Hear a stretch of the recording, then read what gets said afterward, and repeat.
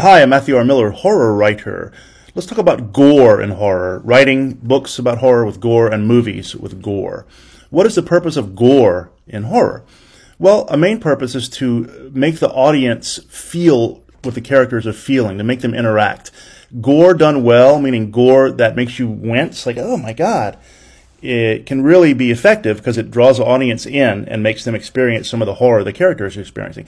Uh, there's some uh, some errors to be made with gore too. You can use too little gore. In other words, have you ever seen a horror movie where something gory is about to happen and the camera just turns and kind of implies it? Usually means they don't have a good budget or a good gore artist.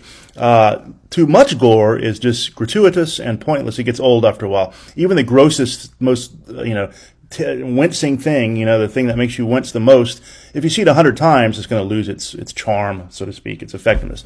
So if you're going to write horror, use gore to draw the audience in, make it realistic, don't underdo it and don't overdo it. That's my advice. If you like horror and horror comedy, check out my uh, books on Amazon, all available in paperback, Kindle, and audiobook format.